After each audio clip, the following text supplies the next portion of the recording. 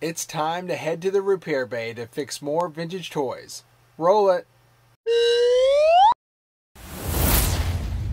Hey guys, welcome to a new Fixed It video, this series where we fix old vintage toys. Before we get into it, if you like what we're doing, think about leaving a like and subscribing, it really helps us out. Let's get this box open. This was a special part sent to me in the mail. We're going to work on fixing up the Demon from Destro's uh, army. It's always been one of my favorite vehicles, so it was the perfect focus for a video as it needed some tender love and care. Getting the package open reveals a side radar dish from the main body of the demon. It's pretty standard until you check it out and see it a bit closer up. So this was sent to me by one of the members of the G.I. Joe Collectors Club Canada Facebook group. You can see that it started out uh, in pretty rough shape, which is pretty common for these pieces. Like a lot of G.I. Joe parts, the radar dish isn't meant to come off once it's installed, which usually leads to broken pegs. From the pictures, you can see it was rebuilt from scratch, starting uh, with nothing, adding a metal support, building a new plastic plastic around it and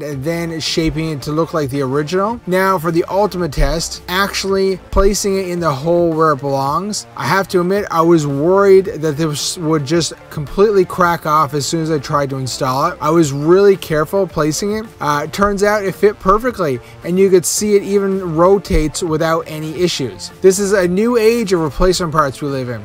Anything is possible with molding plastics and 3D printed pieces. I'm totally happy with this. You would never know it's not from the factory. Uh, really nice work done on this piece. As you can see, it rotates freely and you would never know this was a re reproduction part.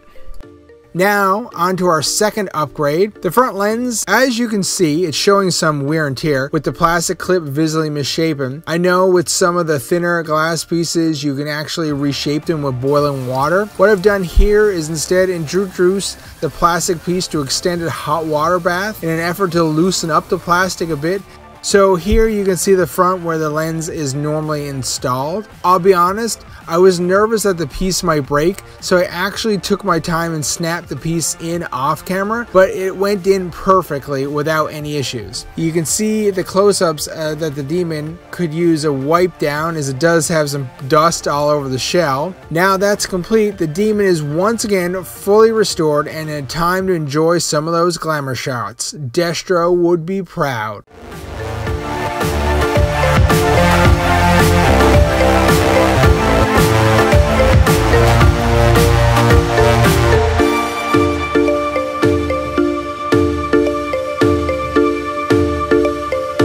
Hopefully you like this small restoration project. If you'd like to see the previous Fixed It episode, check out our video on our Generation 1 Jetfire restoration project, uh, or why not browse our G.I. Joe playlist, which we are always updating with newly released content. Thanks for watching, and we'll see you in the next one.